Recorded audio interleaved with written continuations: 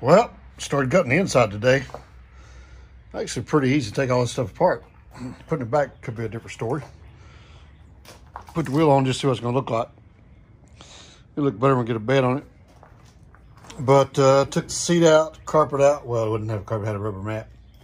Dash pad off. Even instrument cluster, got that take it all out. Because doing a color change, I think we're gonna paint all this ruby red. Paint all that ruby red. Got to take these door panels off next, get them out of the way. And uh, yeah, this dash pad was all busted up. So we throw that out. Got a new one coming. Yeah, man, piece of cake. Should be fun putting it all back together. We have we bought a uh, Painless wiring harness. It turns out there's not really that much in there. See, it just have fuse block down there. So it's gonna be pretty easy to get all that rewired. There ain't gonna be nothing to it, man.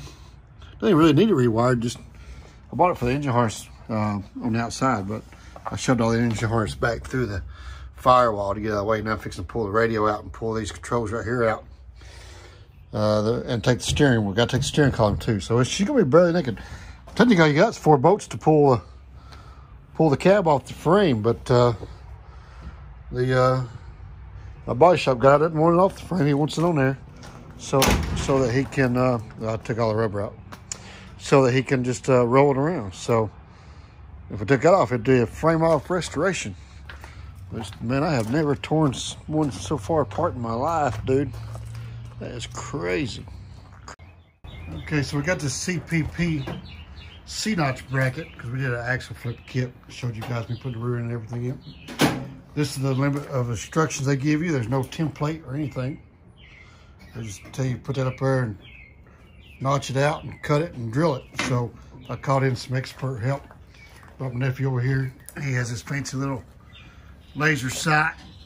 Puts the line over on the other side. You guys see that? knows exactly where the center is. Now we just go mark the center and then start notching her out. That's why we do that. Improvise.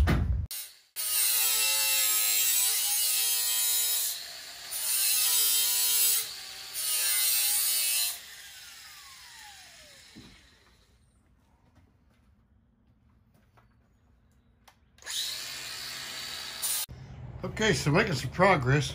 Been out here probably, oh, I don't know, two and a half hours. Got it all cut out, got it, and we're working on drilling it now. That's a job. Uh, I got four bolts in the bottom, and then six bolts in the sides. So we're gonna get it bolted in there.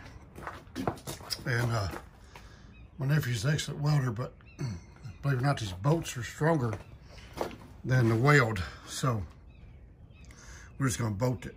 Uh, we could come back and throw a weld on it just for the fun of it, but we'll see what he wants to do. But I think the bolts are gonna work fine. Once we get that done, we throw the shocks in the rear and put the wheels on and drop her down and the back is done.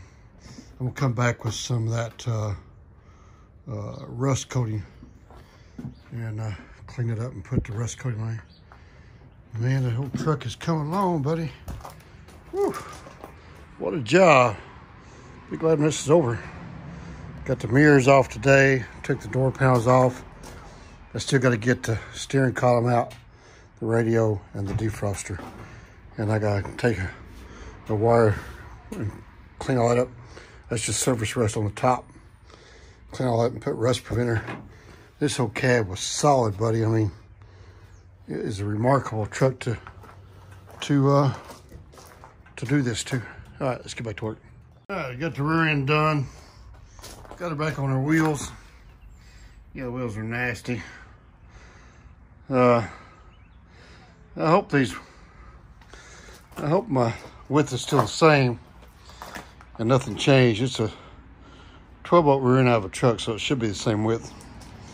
But if not, we're going to, we're going to be changing these wheels pretty soon anyway because I want a deeper dish wheel. I'm hoping to get a deeper dish because see it's got all this on there. I hope we get a wheel here with an off, straight offset. So I'd rather have a deeper dish. Plus I want to go further back here. We'll bring this tire all the way to the edge of this leaf spring and get three more inches of rubber on there. So I'm gonna roast these off pretty quick with that 496 up there. But anyway, so got it done. We're gonna wait and put the shocks on it. Because once I get it on totally on the ground, well, I mean, it's on the ground now. Once I get it totally put together the bed on it, all the weight in the truck, and gear sit down, I can set the pinion angle, get the trans in it, get the drive line set right. But I can already tell, man, she's gonna be riding, she'll be riding low. I think it's like a five inch drop right there. Uh, of course, the front's still on these jack stands. I'm fixing to swap them out for these big ones. Neighbor, hang on. When I'm not towing cars and trucks in my Peterbilt, I'm watching Life is Good. Come on.